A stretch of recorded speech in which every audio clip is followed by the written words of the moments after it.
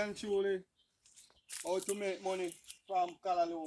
Basically, I do drop seed and as you can see, I demonstrate the first video how you can get a lot of plant from drop seed.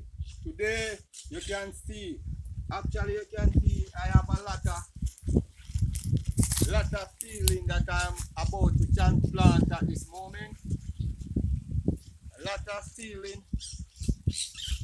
And I have thousands of young callaloo plants. And I am encourage each and everybody, special person who want to make quick money from callaloo. Instead of make a seed bed to sow your callaloo, you can have a, a, a, a one plant. If you notice, breeze blow breeze blow it, you catch field and you can shake, you can even shake it. Ah, also, you know, and have a lot of planting like this.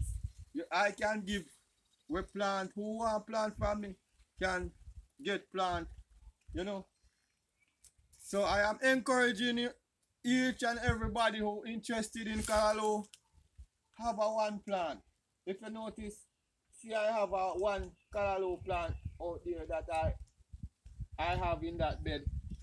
You know, soon as it dry, I can get callaloo seed from it and it breeze blow it, it catch different places.